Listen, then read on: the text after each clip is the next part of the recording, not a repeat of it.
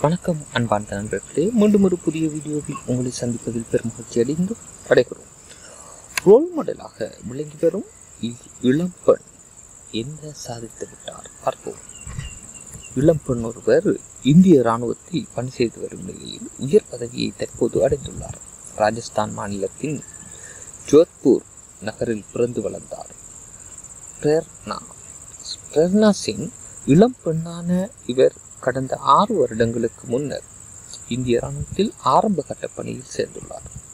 தனது கடும் உழைப்பால் தற்போது இராணுவ மேஜரான பிரேர்னா பதவி உயர்ந்துள்ளார்.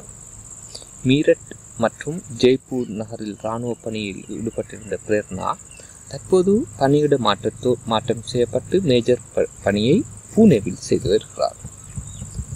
நான்கு வருடங்களுக்கு முன்னர் மந்தடா சிங் எனும் உயர்நீதிமன்ற வழக்கறிஞரை பிரேர்னா திருமணம் செய்து கொண்ட நிலையில் தம்பதிகளுக்கு மூன்று வயதில் பெண் குழந்தையும் உள்ளது. பிரேர்னா பின் மாமனார் சம்பத் கூறுகையில் எங்கள் ஊரில் இருந்து இந்திய இராணுவத்திற்கு உயர் பதவி வகிக்கும் முதல் நபர் பிரேர்னா தான்.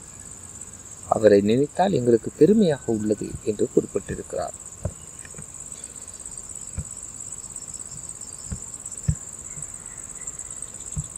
அன்பார்ந்த நண்பர்களே அரசியல் செய்திகள் மற்றும் விழிப்புணர்வூட்டும் செய்திகளை தொடர்ந்தும் எங்களுடைய சேனலை நீங்கள் கண்டுகளிப்பதற்காக கீழே உள்ள சிவப்பு நிற பத்தானை அமர்த்தி சப்ஸ்கிரைப் செய்து கொள்ளுங்கள்.